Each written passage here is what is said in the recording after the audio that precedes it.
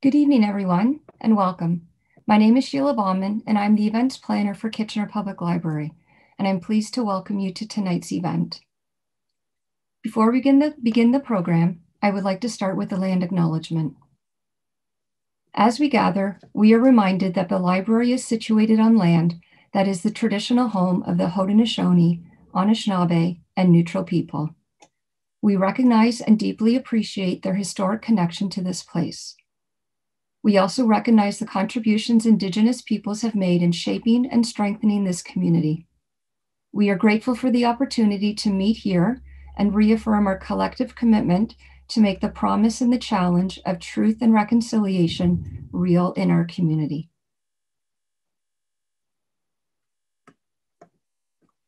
Thanks to each of you for being here tonight. We appreciate your time, participation, and support of our online programs. And before I introduce tonight's speaker, just some housekeeping details about how this, this virtual event will run. There will be a time for Q&A following the discussion, and we invite you to use the Q&A feature. We will monitor the pop-up, and as time permits, questions will be sent to the speakers to answer.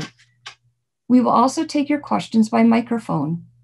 As an attendee, your camera will remain off, but if you prefer to verbally ask your question, please choose raise hand at the bottom and we can unmute you for your question. We are thrilled to have Stratford return to Kitchener Public Library for some fascinating conversations and a tour behind the scenes at Stratford Festival. And while different this year being virtual, I know these talks provided by Stratford staff will be interesting, fascinating, informative, and help us anticipate a new season at Stratford. And I'm thrilled to be working with Lois again to bring fabulous talks to you, our customers. Lois Adamson works as an educator and theater administrator. Since 2017, she has been the Director of Education at Stratford Festival. Prior to this, she worked primarily in the Education and Participation Department at Young People's Theatre. Lois has previously volunteered as a board member for the Professional Arts Organizations Network for Education and the Paprika Festival. She is a founding member of Shakespeare in the Rough. Lois regularly works with a variety of organizations as a key consultant and educator and presents and writes on key issues in arts education nationally and internationally. At this time, I would like to invite Lois Adamson to the screen, and she will introduce tonight's two speakers and moderate this, the discussion and Q&A. Welcome, Lois. Well, thank you so much, Sheila. We're thrilled to be working with the Kitchener Public Library again. Um, so our, our speakers tonight um, are Michelle Barnier and Christine Schindler, and I'd like to welcome them to, uh, to join us now. Uh, fuller bios for both of them are available on the Kitchener Public Library website, um, but I'll share a little bit about each of them right now as well. So as the costume director, Michelle Barnier oversees the entire costume process from the artisans and craftspeople working to create wigs and costume pieces to working alongside designers throughout the creation and planning of our productions. Hi, Michelle. And as the archives coordinator, Christine Schindler works on cataloging both the festival's design sketch collection and our special collections. Christine also handles research requests from clients all over the world and is a specialist in the administration of the festival's photography collection. Hi, Christine. Um, Hi. So before I properly turn things over to them, um, we wanted to get your first impressions. Um, so using the Q&A function, if you're comfortable, could you share um, just in the chat there, the first thing that comes to mind when we say theater? When you hear the word theater, what is the first thing that comes to mind? And we'll watch in the Q&A for your responses. You're being very shy. We see no responses yet. Oh, here we go. so curtains rising, home, drama. Oh, I love these drama, amazing. Stratford. Oh, beautiful. Oh, wondering about how it works all smoothly. Grand spectacle. Okay, great. We promise we didn't plant any of you, but these are exactly the kind of images we were hoping for. Um, and when we say the Stratford Festival, Uh, do you think of anything different, or is there anything specific that you think of? Again, if you're comfortable, share that in the chat. When, when you think of the Stratford Festival, um, grand professional. Thank you all so much for diving right in. Creativity, best in the world. Oh, a Canadian. Well done. Costumes. Oh, Debbie, thank you.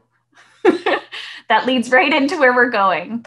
Um, and lastly, when we say the word costumes, when you think of the costumes you see on stage at the Stratford Festival or at other theaters, what are the kinds of things that you think about? What comes immediately to mind? And it might be similar to some of what you've shared before.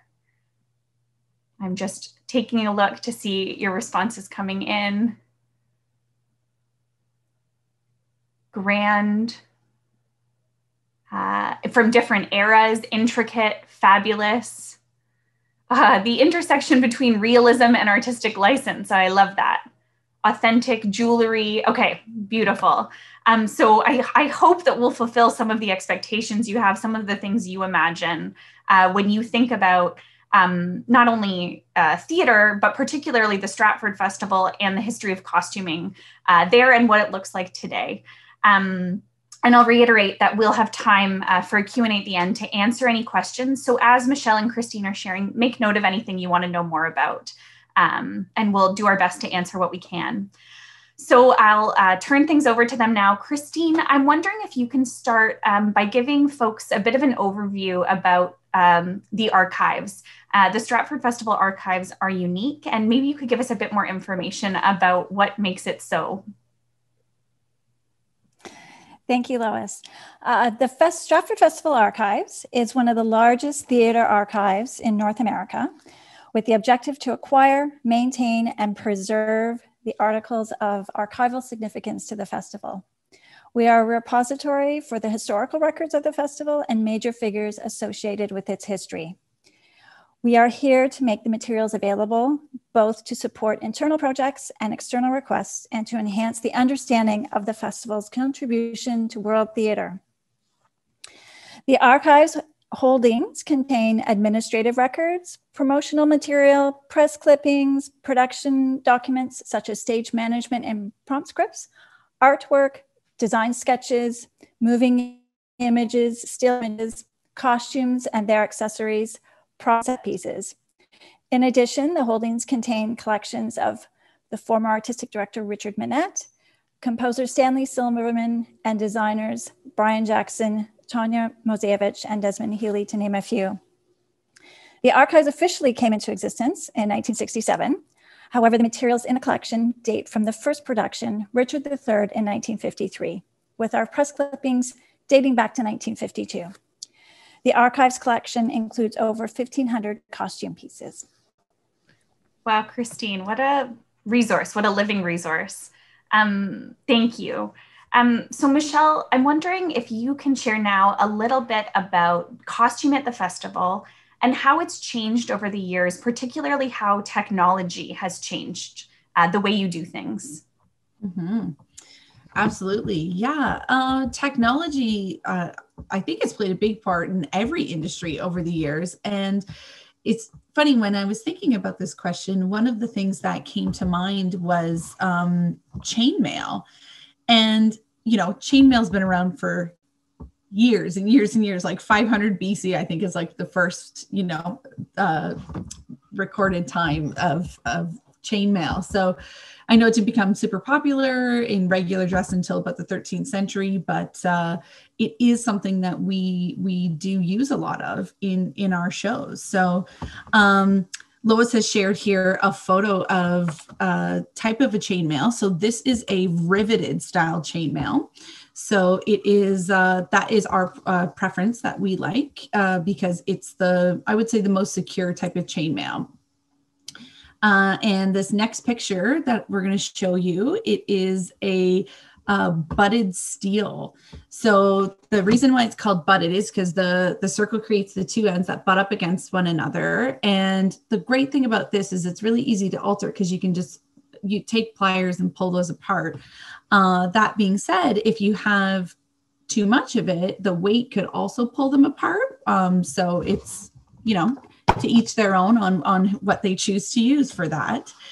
Um, the riveted and the butted uh, chainmail uh, is normally made out of steel, but technology has helped us in a way to to be able to create it out of aluminum, which is fantastic because it is 10 times lighter than the steel. So it's much preferred by uh, our actors and uh, artisans alike. So um, the aluminum, or sorry, so if we were going for a more authentic look on stage, then we would try to go uh, into the aluminum style of either the butted or the riveted that uh, you saw there.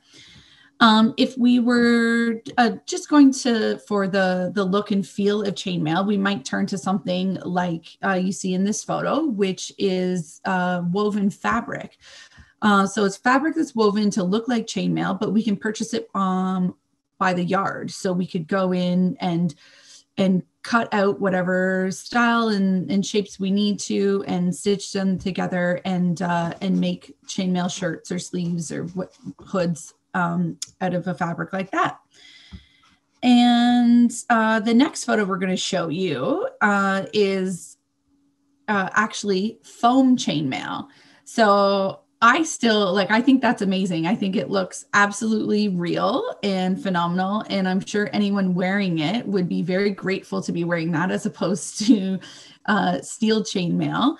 Um, but unfortunately, we don't use a lot of this because the foam isn't uh, very durable so to last a run if we were doing fight sequences and things like that that uh, so unfortunately it's it's not a technology we're able to take advantage of uh, as much as i'm sure the actors may like us to.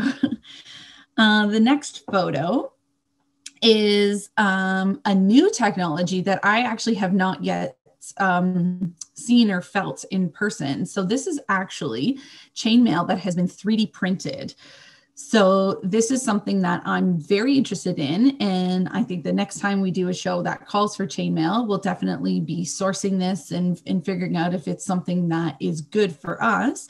Uh, but in that, as we are sourcing things like that and new technologies uh, come along with items like this, we need to make sure that we are weighing the pros and cons. So, obviously, one of the pros is it looks real. It probably has a really nice, like, hang and drape. It probably moves like the steel, but then it also, um, and it's also very light, which is fantastic. But one of the things that I would also want to know about is the durability, like how much wear and tear it can have. Is it sticky? Would the arms stick to the body? Would they would it, it, impede the movement that the actors would need to do in a in a fight sequence or something like that? So all those things we take into account especially when we're looking at uh, new items. Um, i would say over the years the most successful faux chainmail that we've used or yeah used is um, something that you know is age old is a hand knitted chainmail uh, in the photo here, this is a, a, piece from our production of Camelot in 2011. And it is a knitted and painted uh, chainmail that we had created. And I think we are going to show you a little video of how this process happens. And I'll just explain it to you um, as the video plays in the background. So uh, the video shows the making of knitted chainmail, uh, which was created by a company called Euroco Costumes out of New York. Uh, the woman at Euroco has honed her knitted chainmail making skills over the years, and she's one of the only craft makers to use this process. Um, and it is her process specifically that makes the chainmail look so realistic, as you saw in the photo previous. Um, so she hand knits all of the patterns and then pins them out onto the board. So you can see there. And part of the reason for pinning is to uh, lay all of the edges flat so they don't curl up um, at, all, at the hems. And the other reason is so she can do what she's doing right now, which is painting in layers of metallic paint to get the look of steel. Um, she's figured out which types of paint work, which rollers work best, all of that good stuff. Um, being careful to add thin layers at a time to build up the metallic sheen as opposed to putting a lot on at once and then it end up stiffening and uh, and not having a realistic look to it um, yeah so that's uh, that's one of the one of the different uh, ways that we can create faux chainmail oh michelle you've given us such a great sort of overview of the history of, of chainmail and how you can manipulate different fabrics to create something like this on stage um, with us believing that it's actually uh, what we're meant to. Um, are there any other ways that you've used technology or different methodologies to manipulate fabrics to do something specific on stage? Yeah, absolutely. I would say one of like my new favorite ways of of manipulating fabrics and using technology is actually printing fabric. Um, printing fabric has come such a long way uh, in the last few years and the options just seem to be endless um, each year they come up with new things um, and we can print on anything from silk to cotton to now we can like print on leather and uh, and it's durable and it lasts. So it's it's pretty fantastic what's happened. Uh, in this photo the uh, the dress in this photo was um, a really interesting uh, process to to be a part of. So uh, the designer of, of this dress uh, had a wonderful idea to take a painting that she had personally created and turn it into fabric. But we didn't want to just take the, a photo of the painting and repeat it into yardage of fabric because then she wouldn't be able to place certain uh, parts of the painting in specific areas. So what we were, we were able to do is work with the cutter, work with the designer, and work with the printer, and have the uh, the fabric printed over top of the pre-made um, uh, pattern pieces. Sorry, losing my words. Uh, over top of the pre-made uh, pattern pieces. So then, when it came back from the printer, the cutter was able to to cut right into it, pass it off onto her amazing team, um, and create this beautiful garment. Sorry, thank you, Michelle. I'm trying to do too many things at once. I mute myself, run the slideshow. Um, that's such an interesting thing and not something you would think about when you see a piece on stage, like just the intricacy that goes into it. Mm-hmm. I think something else people might be wondering about um, is you know, we know, and you've shared a little bit about how you create these particular pieces, but then they're not just left there for us to look at. They have to be really well used um, and used by so many different people. Is there anything that has changed over the years in terms of how you keep track of costumes in every show and over multiple shows? Yeah, absolutely. Um, keeping the costumes and all of the elements uh, that go into every costume organized in a, the meticulous manner that it needs. It's it's of the utmost importance. It's it's what makes us um, be able to do what we do, um, and we're able. Part part of what we do to keep all that organized is we create dresser sheets, and all the info uh, goes on the dresser sheets. But before I tell you um, about that, I'll tell you a little bit about why we create the dresser sheets. And I think it's uh, important to understand that there's actually two very different um, sections of the wardrobe at the Stratford Festival. There's the production wardrobe, where all the costumes are made or altered and, and created uh, there, along with all like the, the crafts elements, the jewelry, shoes, hats, uh, all the painting and dyeing, all the elements that goes into it, all happens in the production wardrobe. And then we have the wardrobe running crews. Um, so all the people backstage that you don't see that are making everything happen. Um, that's uh, where all the costumes get passed off to. So the uh, running crews, they are um, they maintain the costumes um, throughout the run of a show. So that involves anything from laundering, pressing, altering, fixing the costumes, um, and they do that for the entire run of the show. It's an exceptionally meticulous job, and all of the wardrobe attendants um, just take such great care in it. And it's why if you come and see, you know, the first show or the hundredth show in a run, you wouldn't know the difference because they've just done such an amazing job at like keeping everything uh, just uh, in pristine condition. Uh, so in, in part of that, one of the ways we pass off all of the information from the production wardrobe to the running wardrobe is through the dresser sheets. So this is a really important part of the costuming process um, because it's a way that we pass along the final information. So anything that happens in the fittings or anything like that, all of it gets documented and, and goes along to the to the running crews. So um, if there was anything specific that a designer uh, wanted, like if they wanted a jacket always to be worn open or maybe always to be worn closed, like that's stated. If there's a hat that goes with a costume, um, maybe it's only worn in like scene 1.2 and 1.8, we would always um, state that as well. So they know when they should be um, getting that to the actor and, and not. So um, we even state things down to if someone had a rolled hem on a jean, if it's rolled two times at a 1.5 inch width. Um, it, it, it seems, you know, really meticulous, but you have to understand that like those might be unrolled to be laundered and then they need to be repressed and reset in that exact same way. So all that information is um, needs to be written down there. So that's what what the dresser sheets are for and why they're there. And I think we can show you a photo of maybe one of our first dresser sheets back from the 1950s. And you'll see here that obviously everything is handwritten. So that's their costume, the shoes they're wearing, the hats, the tights, all of that stuff. So um, one of the things that we would always do is make sure all of these sheets are were written in pencil because as fittings happen, if those shoes maybe were originally black and eventually the designer decided they needed to be brown, you know, instead of constantly having to to make a new dresser sheet, you can just erase and, and keep going. And then the final sheets would go off to the to the running crews at the end there.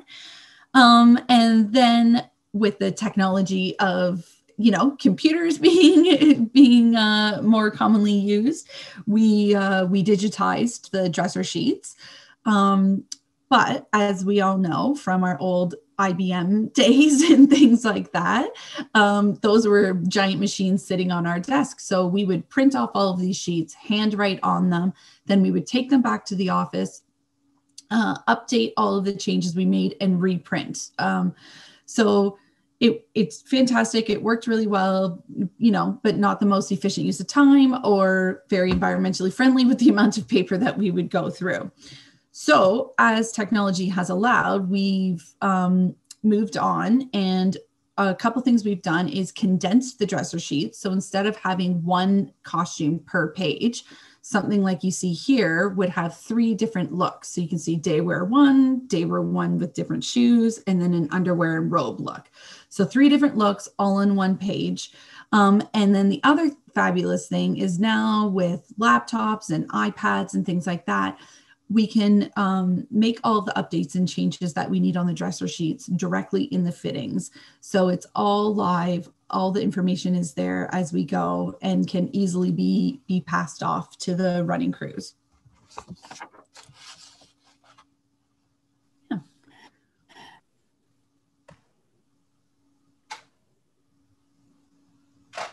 Archives, uh, dresser sheets are archive areas.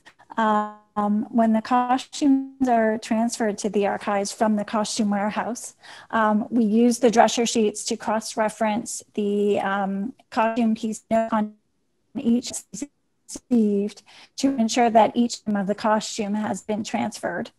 Uh, secondly, dresser sheets contain textile information, which is uh, valuable uh, aid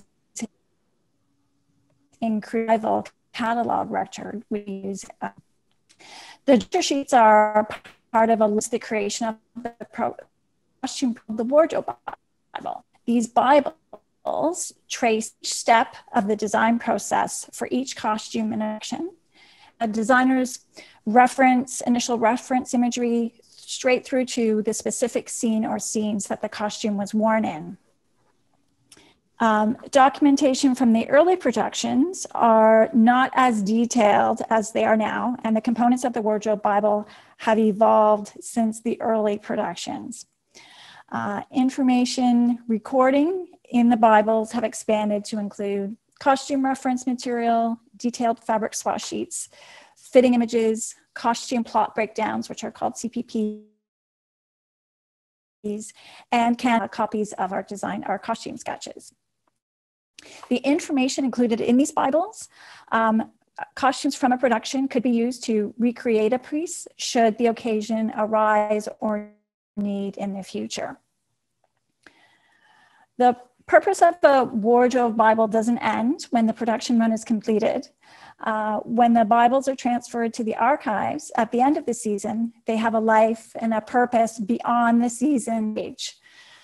Um, they have a use in the preparation of future productions, uh, design teams, fabric swatch information from previous Bibles, wanting to know maybe where a fabric was purchased, what the fabric was used in a production. Uh, these wardrobe Bibles are created by the designers or their assistant designers as reference material. And it's the creation and the documentation of the transmitting of this knowledge and skills from one generation to another.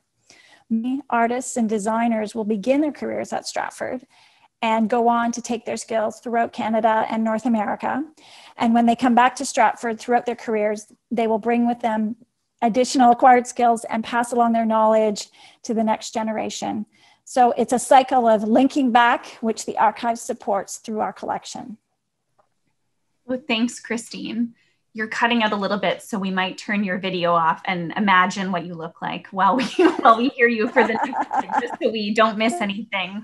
Um, it sounds like thanks to the archives, we have such a strong record of our history, and so that informs us as we go forward and do things differently. Do you like? But what happens to the actual costumes? You know, we have all of this information about them you mentioned a few end up in archives. Can you tell us a little bit more about that? Yep. At the end of uh, each season, costumes are transferred to the costume warehouse for processing and cataloging. And once production's costumes have been cataloged by the warehouse, um, the items are then transferred to the archives. Um, the archives will then take the costumes into the collection to document the costumes in a production and to document the technical and artistic achievements of the festival's design and wardrobe teams.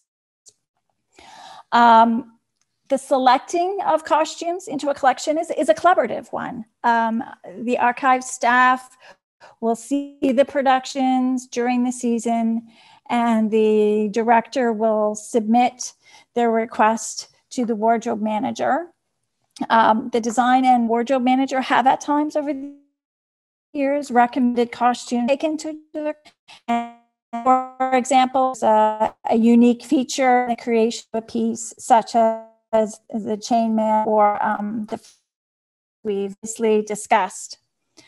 Um, a costume will be selected for inclusion in the archives, typically if it fits into the following criteria. Um, if the costume is representative of the design concept of the production, if the costume has a specific design characteristics, if it's unique or in its creation, uh, if it represents the craftsmanship of the artisans, or it falls into our archive's traditional collecting areas. For example, we typically receive the Juliet's ball gown from productions of Romeo and Juliet, but I will mention, we do not have all of Juliet's ball grounds. Um, the collection is missing a gown from one of the earlier productions. Also, um, if a costume is a central character in a production or is worn by a prominent actor, the archives have taken the costume into this collection as well. Um, the kind of vast amount of costumes that are created for productions in the series the archives will take on average about two costumes per production, so approximately 24 costumes a year will come into our collection. Um, the archives, I have to say, are unique in a unique position of collecting costumes as identifying costumes for archives is embedded in the end of season process of transferring the productions to the costume warehouse. Um, collecting and preserving our costumes has kind of three areas or main areas of our focus as research for students and academics, for outreach and access through exhibitions and to support internal projects. Um, internally, costumes are used to support the work in other festival departments, um, such as resources in education, workshops, and lectures. Um, when costumes are transferred to the archives, it is very rare that a costume will be used again in a future production due to its fragile and delicate structure. Um, textiles such as silk don't hold up to additional time on the stage and um, textiles like that can and using them on stage can speed up the deterioration uh, of a costume which is kind of counterintuitive to the preservation of a costume that being said each year the archives receives requests from the wardrobe and props department and will loan a costume or a crown for use in um, upcoming promotional photography shoots um, for example, um, are more robust in their construction and we will loan those out for production. But not every request is granted. Very true. not every request is granted, but that's okay because um, we totally understand that the items selected by archives um, are selected for a reason and that we need to ensure that we we keep them in peak condition and uh, that they stay that way for years to come. So we're, we're happy to uh, to help in that process and not ask too many things of christine and her the team in archives. Um, that being said, um, sometimes if a request isn't granted, we will uh, find a different way to, to do what we need to do. And sometimes we'll ask for the item out on loan, not for a show, but so uh, the, the designers and cutters and uh, sewing teams can uh, look at them and uh, try to duplicate them for, for a, uh, a new show. So, um, the sorry as i i've um, lost my spot here um one of the uh, actually lois if you want to show the fat padding here i'll um, let you guys uh, know that this was um this fat padding was made for our production of Merry Wives of Windsor um, in 2019. Some of you might have uh, seen it. I think it was streamed last week on our Stratfest at Home. Uh, series. So um, it was for the Falstaff character. And uh, so that is uh, that is now in archive. So if we wanted to to reduplicate this, it's something that we wouldn't put back into a show, but we would uh, we would ask Christine and her team if we could borrow it uh, to duplicate it. Um, couple interesting things about fat padding is that um, as we were talking about technology before it's interesting how, how technology has actually created um, a lot of different elements for us to like work with and play with um, to to create these shapes and the the real realism of the shapes. So we work with uh, anything from cotton batting memory foam bags filled with beans, anything that can create a realistic role, um, we will not hesitate to use uh, and uh, add all those elements together to, to create uh, the look that, that we're going for.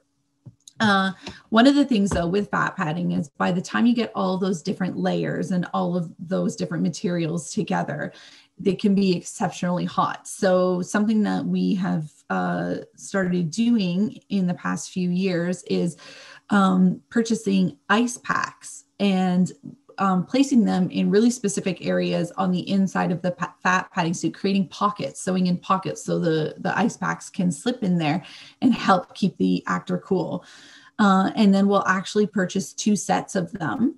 So then they can be uh, traded out at intermission. So um, they uh, they stay stay just as cool in the second act as they did in the first. So that's very important um, to us and the the health of the actors and and everyone involved there. Um, and another reason we may ask archives for items from previous shows is sometimes a director or a designer or an actor uh, wants a specific piece for historical or nostalgic purposes. uh, some Christine was mentioning before uh, crowns. So sometimes, you know, like a king's crown or even their coronation robe, like historically, would be passed down um, through the kingdom and uh, and used at every coronation. And uh, sometimes for you know art to mimic life we would do that and try to pass those items down from show to show. So sometimes um, requests happen because of uh, situations like that as well. Uh, apart from crowns or robes are there any either any other items or um, reasons why certain costume pieces might be passed down um, and shared from within the archive um, yep, the, the costumes in the archives are represent the history of the festival, and the cloak from the 2018 production um, of The Tempest illustrates the importance of the history. Um, this image that we see here of Miss Martha Henry in the role of Prospero from the production made history in part from um, the iconic Miss Henry playing the role of Prospero. But if we look closer at the cloak Miss Henry is wearing. The cloak in its creation is a piece of history. Um, the design, the cloak designed by uh, Bretta was created with pieces from past Prospero cloaks, um, including pieces of costumes from the 1962 production with uh, William Hutt in the role of Prospero and Miss Henry portraying Miranda, one of her first roles in the festival. Um, if we look again, the, the staff that Miss Henry is holding also contains a piece of history um, as the, within that piece is a, a, section of the festival stage in that staff. So both the staff and the cloak are filled with the history of the festival. And uh, this is part of the work that we do in the archives um, to preserve the work of the artists, the designers, and the artisans through our archival pieces, document the creative process and the passing of skills and knowledge to the next generation, and to be a resource for researchers and outreach to our patients by our patrons mm-hmm. by sharing the work with them. Oh, thank you so much, both of you, um, for sharing all of that detail uh, about what really happens behind the scenes, um, you know, and particularly at a place uh, like the Stratford Festival, where we're so lucky to have a resource like the archives. Uh, there's so much we can learn and um, interrogate and question about our history as as we uh, create our work moving forward. It's really exciting. Um, Christine, let's try to put you back on video for the Q and A, and we can always take you off again if it's if it interrupts. Um, but let's move into our uh, question and answer period. Um, so as Sheila mentioned off the top, uh, you can use the Q&A function to ask your questions and we'll try to answer as many as we can. Um, so a couple of questions for uh, Michelle off the top. There was a question about what thread or yarn is used to, in knitted chainmail. Is it metallic, the, the thread or yarn itself? Yeah, unfortunately, uh, no. The it's a it's like a bound cotton. There's like a cotton piece, um, just like a cream colored cotton piece on the inside, and it's bound with a and wrapped with a gray cotton piece on the outside, and that's what gives it um, a tubular feel, which helps um, make it look like the rings as it's knitted. Um, and the reason why she was painting it is because that type of uh, yarn does not come in metallic. So then she adds that sheen to it after. Great. Um, how many pieces or copies of one costume would you need for a run? Like, do you need multiple copies of a costume ever? Or do you just have one piece per character? Uh, um, generally i would say it's one piece per per character. Um i would say our multiples come into play uh when with understudies and and uh, swings and things like that. So that's definitely uh important uh to to have those. Um the other time they can come into play is if there's maybe like a clean version and then a broken down version uh of of a costume. So there there may have been a couple pairs of pants or you know two suits made something like that but by the time you see them, they look very different. right. So you said it depends. It's it's really particular to the production. Yes. Yeah. Yeah. The needs of the production and yeah, all of that. This might not be something you know off the top of your head, Michelle. Um, but in an average season, do you know what the budget is specifically for fabric or for materials for the costumes that are built? Oh gosh, no, I wouldn't. I I wouldn't be able to speak to that uh, for like the season as a whole. But um, what we do do is we do look at every show separately. So we look at every show and, and we figure out the needs. And that starts by breaking down a script, figuring out who's in every scene, who needs to be clothed, maybe sometimes who doesn't. and um, but we we really go through very meticulously and we figure out all of those things, you know, as much as we can off the top. And and and uh, then from there, uh, you know, designers and directors, they're working on that. They're breaking that down and figuring that all out. And then then uh, I get to be drawn into the process as well alongside designers and and figure out what's being built, what's being, you know, maybe pulled from stock, what is maybe going to be purchased, things like that. So it's all, um, it's a very long, drawn out uh, process on purpose um, because it allows us to get really specific along the way, which is fantastic. A similar question, just related to scope. How many people would be working in the wardrobe in an average season? Do you have a sense of that? Yeah, uh, um, anywhere um, from like 75 to 100. Yeah, and that's just in the production wardrobe. I should say that doesn't even include like the the running wardrobe and backstage and and all of that. So, um, uh, yeah, so it's uh, it's amazing. The there's uh, we usually have about a um, eight different teams of cutters. Each each cutter has a team of four to five sewers. Um, then we have all of our crafts areas. Like I said before, the bijou decorating, uh, millinery, uh, uh, paint and breakdown, dye, boots and shoes. Um, everyone pulling together and and trying to you know dress dress everyone head to toe inside to outside so it's incredible um uh, and such collaboration uh, with, mm-hmm. with a team like that. Christine, you talked about um, costumes that are chosen to go into the archive, which made me think like, oh, what special costumes? you know, it's such an exciting thing to think about. Um, and then you talked about the fact that they're preserved in the archive, but what kind of work goes into preserving them? What does that mean? Well, we uh, are, are storage area where we keep our collections are under humidity and temperature control.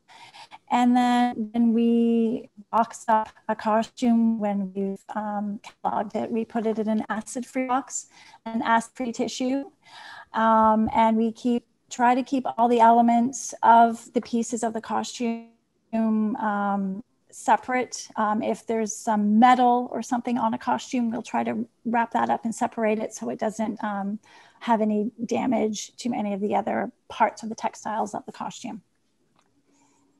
Oh, thank you. um, and you mentioned that there, uh, both of you talked about the fact that there are costumes that are selected to be in the archives, but the bulk of the costumes are not. Um, Michelle, a lot of those go into our warehouse, yes? Yes, correct. Yeah. And then what happens to them from there when they're in the warehouse? What uh, what is the life of those costumes? Oh, it can be years, years and years. Like one of the amazing things about the wardrobe department at the Stratford Festival is the knowledge and the care put into building the costumes is I'm in awe of it. Like I work in it every day and I'm in awe of it. So it it feels really amazing to be a part of that. And the reason part of the reason I'm in awe of it is because they do what they do is they produce these costumes so well that but depending on the fabrics that they're made out of and things like that, they can be in there 20, 30, 40 years, you know, like it's uh, it's quite amazing. And then what happens is it builds up um, our stock, and then we get to reuse them, and we get to go in and, and find all these like amazing gems that are that are in there, and you know, maybe they alter them or a little bit differently each time, depending on what they want. Um, so yeah, we use quite a lot of them, like even within our own productions. And then uh, we also have rentals as well. So we have, uh, you know, other theaters, films uh, all across Canada, across the US um, we even have like overseas people like literally phoning in and emailing in like requesting uh, uh, rentals of items. So um, that is uh, that's something that that we do as well. Thank you um, and uh, in usual times, um, you can come to the wardrobe and see some of this. So in the future, uh, you'll be able to do that as well to come see some of these costumes and get a sense of the scope of it as well.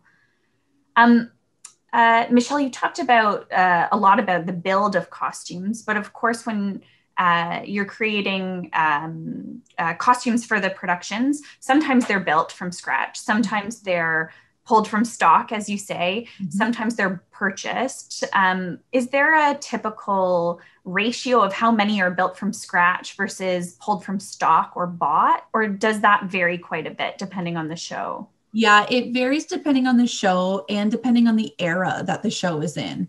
Um, we we have pretty much every era in the warehouse, but certain eras, you know, like Elizabethan, something that we do quite a lot more of. We have more stock of that. Um, but uh, uh, you know, if we were to uh, place something in, let's say, like the 1960s, even, uh, we have less of that. So then that's when we need to look um, at, like when we are talking about the budgeting process, what the ratio is of where we need to to put the to put the money in building or or um, pulling from stock or purchasing things like that. Um, you both have worked uh, at the Stratford Festival for a number of years. Is there a particular costume that you have in your memory that was especially challenging for the people working on it? Um, is there anything that stands out or something really unique?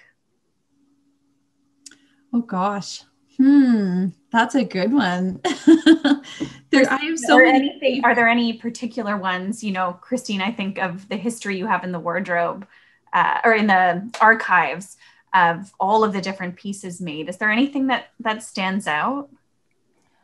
Um, oh gosh, yes. Um, we have um, Christopher Plummer's um, uh, doublet from when he was in Henry V, and it's it's just in pristine condition, and it's bright red with um, gold um, detail on it, and that's that's one of my favorite costumes, and also the Tempest robe that um, Len Cariou wore when he was Prospero.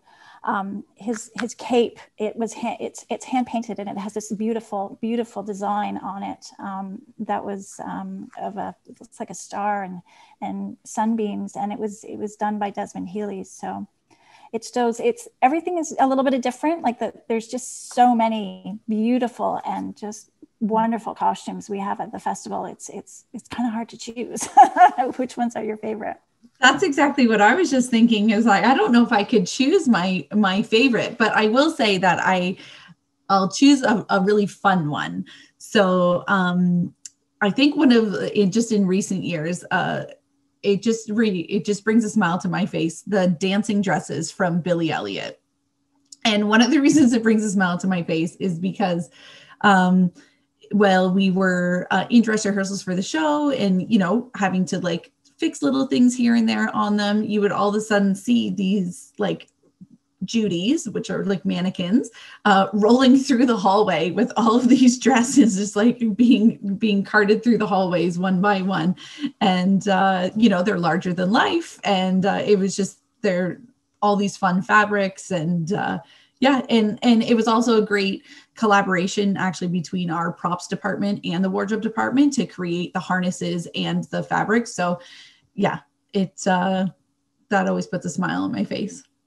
And for those who don't know Billy Elliot too well, these are dresses that seemingly dance on their own, but of course are oversized dresses worn by uh, by actors. Is that a good? Is that an okay description?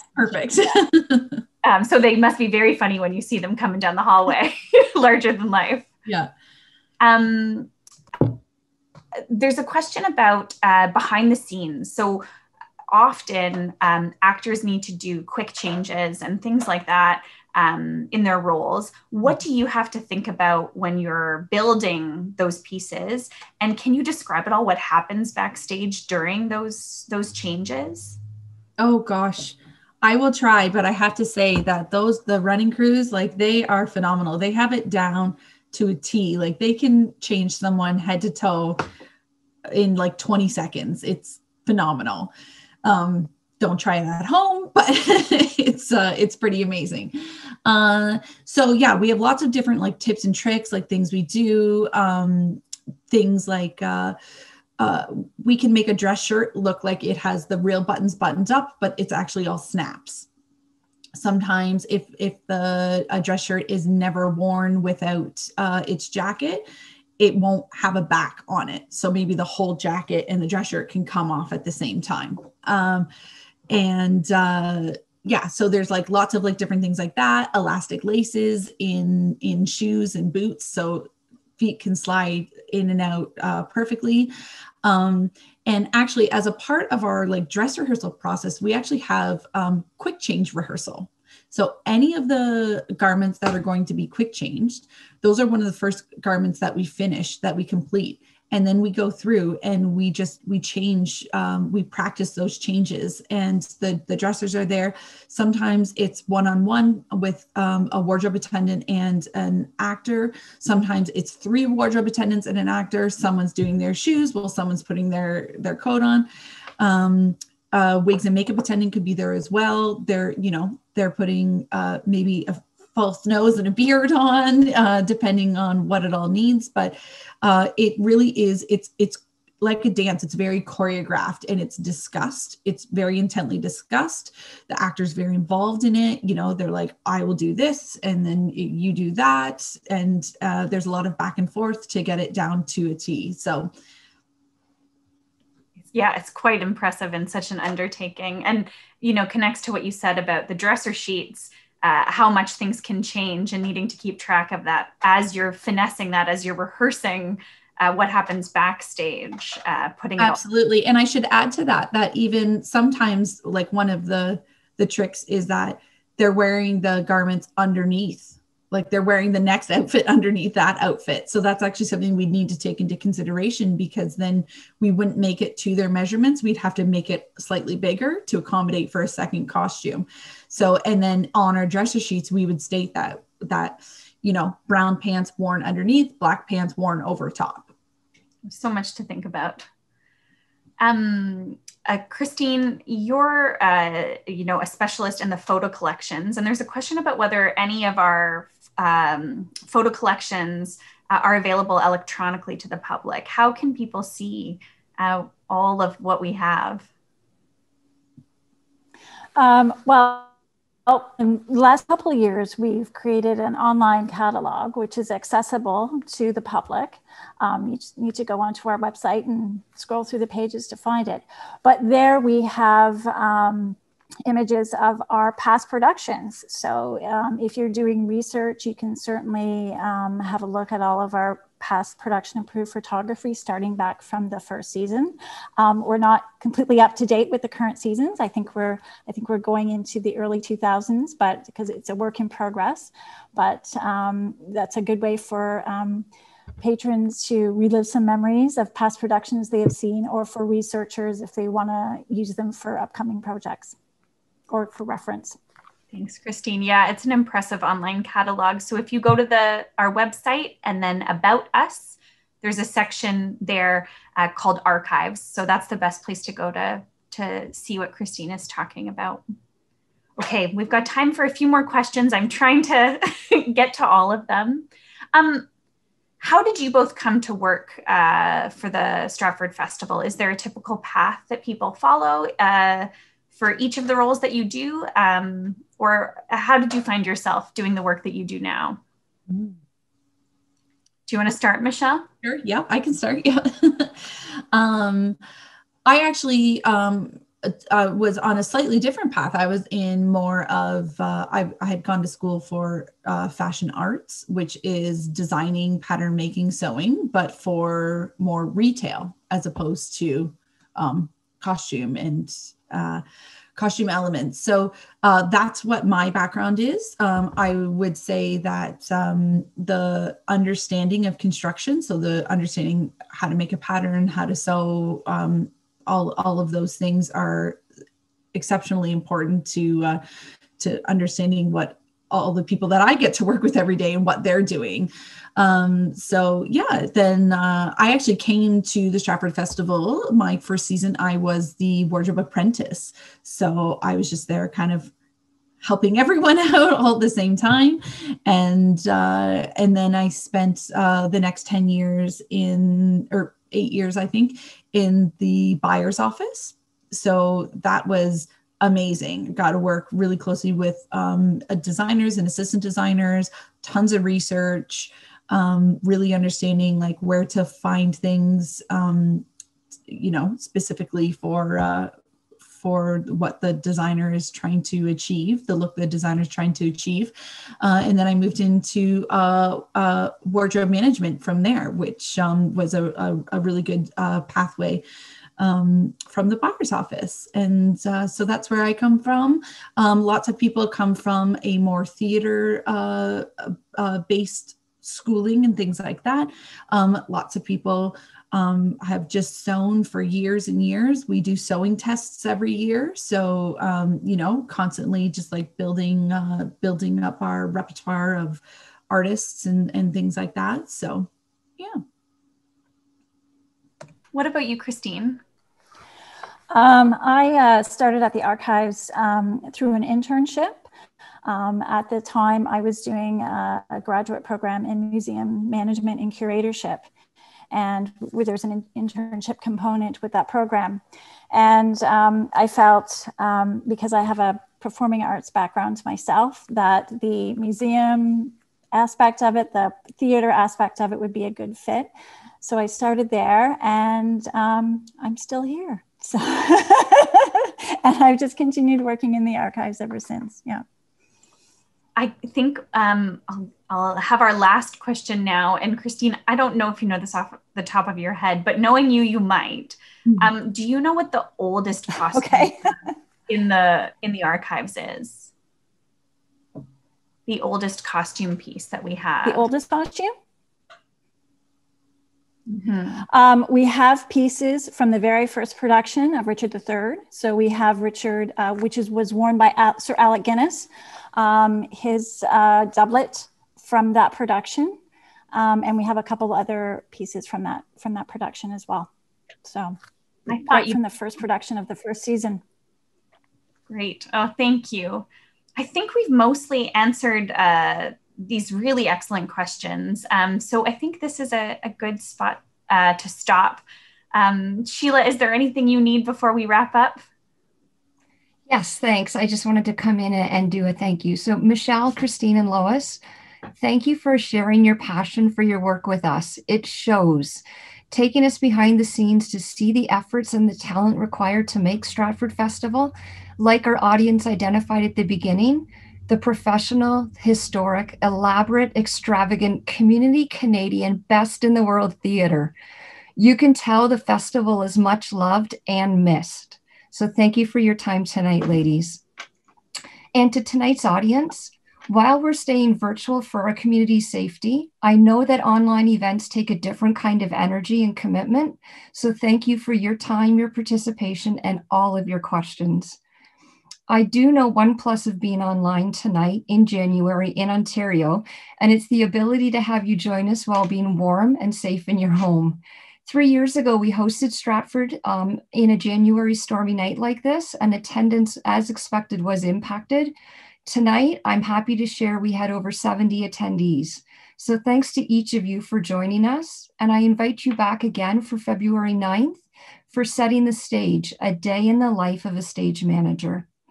And just a teaser, Stratford staff will be returning and offering more talks in April. We'll announce those dates as soon as we can, but I hope you can join us then.